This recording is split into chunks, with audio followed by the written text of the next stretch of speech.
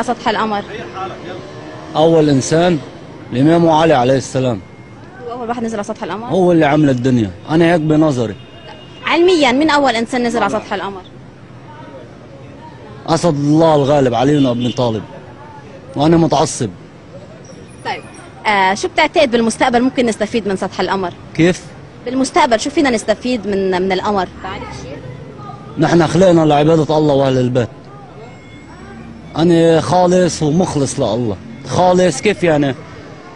يعني لا لي كيف خالص؟ أنا ما بتعاطى بس خالص خالص لله. وأهل البيت. أكثر من هيك ما